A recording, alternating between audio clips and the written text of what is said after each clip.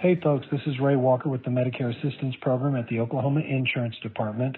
We wanted to make you aware of the fact that scam artists are out there trying to take advantage of Oklahomans and they're using the COVID-19 virus as a way of getting to you.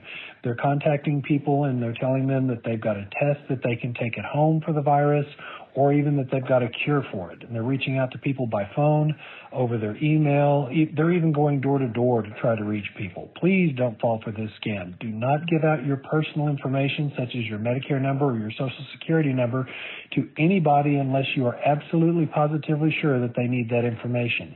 If you do get contact by, contacted by one of these scam artists, we'd love it if you'd give us a call at the Medicare Assistance Program at the Oklahoma Insurance Department at 1 800 763 2828, or you can go to our website at www.oid.ok.gov.